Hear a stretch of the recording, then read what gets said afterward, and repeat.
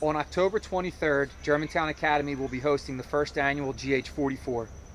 GH44 is a celebration of girls in sports, named in honor of Ginny Hofmann and her 44 years of service to the student athletes of Germantown Academy.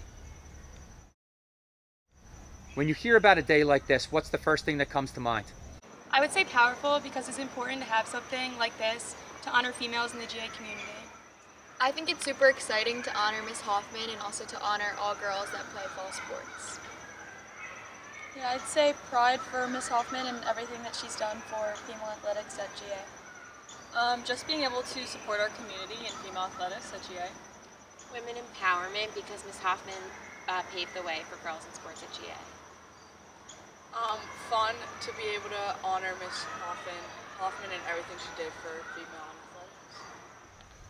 Why is an event like this important? An event like this is important because it brings the GA community together and represents everything Miss Hofmann did.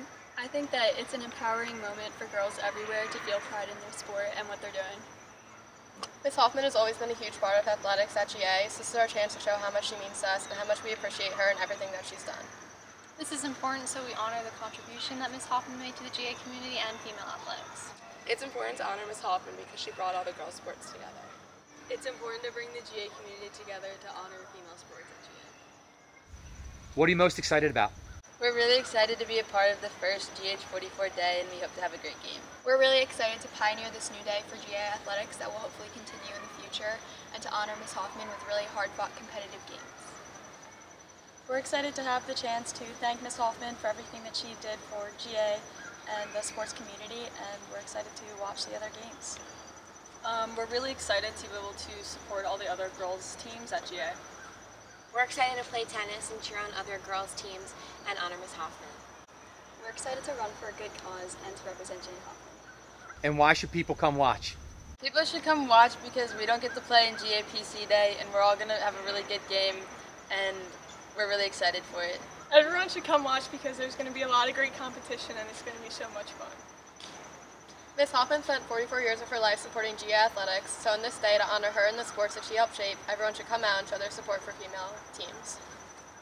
It's going to be a really fun day and it'll be a great way to support female athletics. Tennis is a really fun sport and when you watch you'll be supporting Miss Hofmann and all she did for our community generally. This isn't just a big day in GA history, but it's a big day for females.